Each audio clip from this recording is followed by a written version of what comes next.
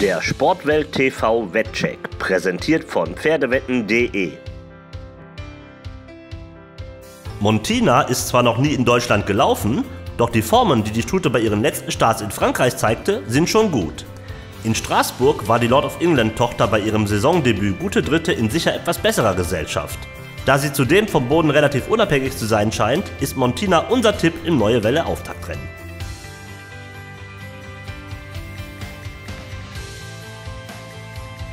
Viscount Word ist zwar mit seinen neun Jahren der Senior im Feld, aber dass er noch gut genug ist, um Rennen zu gewinnen, bewies er noch bei seinem letzten Start, als er in Müller mit einer feinen Speedleistung zum Zuge kam.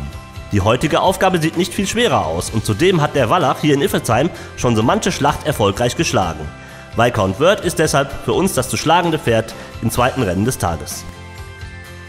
Wenn die französische Trainerlegende André Fabre ein Pferd nach Deutschland schickt, dann ist immer Vorsicht geboten. Das dürfte bei Palombe nicht anders sein. Die Stute war bei ihrem vorletzten Start zwar hinter ihrer heutigen Konkurrentin Diana Storm, doch anschließend gewann sie ein Listenrennen über etwas weitere Distanz mit großer Leichtigkeit. Palombe ist für die deutschen Stuten im Preis der Baden-Badener Hotellerie und Gastronomie deshalb eine ganz gefährliche Gegnerin.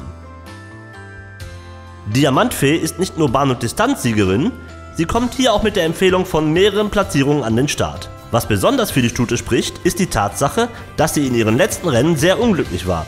Zuletzt in Mülheim war ihr in der Zielgeraden gleich mehrfach der Weg versperrt. Wenn der Rennverlauf heute passt, können wir uns Diamantfee gut als Siegerin vorstellen. Hyper Hyper kommt zum ersten Mal in Deutschland an den Start. Denn der Wallach ist bislang ausschließlich in Frankreich gelaufen. Dort gab er in einem vielleicht etwas besser besetzten Rennen als diesem einen guten Saisoneinstand, auch wenn er am Ende nur auf dem sechsten Platz landete. Der Hofer Schützling blieb dort aber vor Lady Doncaster und könnte bei seinem Deutschlanddebüt durchaus eine Wette wert sein. Die Gäste aus England haben in der Badener Meile in der Vergangenheit nicht selten eine gute Rolle gespielt. Das ist auch heute durchaus denkbar, denn mit Stormy Antarctic kommt ein Gast aus Großbritannien nach Iffelsheim, der nach Klasse hier kaum einen Gegner zu fürchten hat. Anfang April gewann der Wallach noch eine Gruppe 3 Prüfung in Frankreich über die heutige Distanz. Besonders wenn der Boden weich ist, könnte Stormy Antarctic die Badener Meile auf die Insel entführen. Anarchy hat zwar noch nie ein Rennen gewonnen, doch startet der Wallach, dessen Trainer Piet van Kempen mit seinen Pferden in Iffelsheim immer zu beachten ist, heute erstmals im Handicap. Durch sein Saisondebüt in Dortmund, bei dem er den sechsten Platz belegte, sollte er gefördert sein. Und in überschaubarer Gesellschaft halten wir einen Sieg des Vierjährigen für gut möglich. Also heißt es in diesem Rennen, ein Tipp für Sie, Anarchy. Die wenig geprüfte Barbara zeigte in Dortmund, dass sie ein Pferd ist, das noch Rennen gewinnen kann.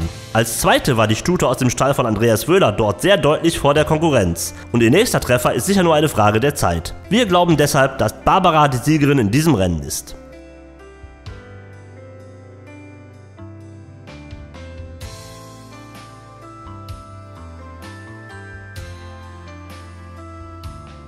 Aira ist zwar noch sieglos, doch so, wie sich die Stute aus dem Stall von Tony Potters zuletzt präsentiert hat, sollte das nicht mehr lange der Fall sein.